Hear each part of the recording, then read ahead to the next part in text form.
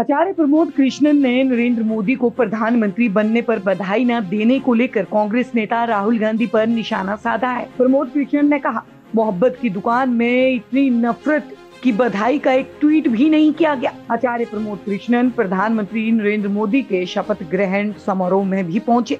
उन्होंने ट्वीट कर कहा कि ये भारत को गौरवान्वित करने वाली ऐतिहासिक पलों के साक्षी बनने का हमें सौभाग्य प्राप्त हुआ है। पूरी दुनिया में प्रधानमंत्री नरेंद्र मोदी के नेतृत्व में भारत ऊंचाइयों के शिखर को छुएगा। शपथ ग्रहण समारोह के दौरान आचार्य प्रमोद कृष्णन ने एक और ट्वीट करते हुए कांग्रेस नेता राहुल गांधी पर निशाना साधते हुए कहा कि एक बार फिर ब्रह्मांड में गूंजी वे आवाज़, मैं नरेंद्र दामोदर दास मोदी।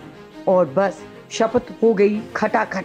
इतना ही नहीं, उन्होंने इस ट्वीट में राहुल गांधी को भी टैग किया। कांग्रेस के वरिष्ठ नेता आचार्य प्रमोद कृष्णम का बीते कुछ दिनों से कांग्रेस की तरफ़ कम और बीजेपी की तरफ़ झुकाव ज़्यादा देखने को मिल रहा है। बीते कई दिनों में उन्होंने बीजेपी के पक्ष में बयान दिए।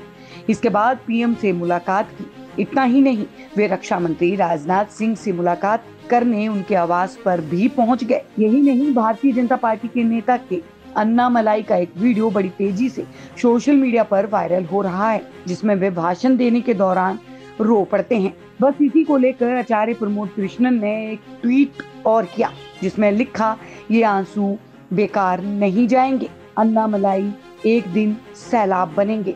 और डीएमके के साम्राज्य को डुबो कर रख देंगे। आप देख रहे हैं सौगंध टीवी सौगंध वतन की।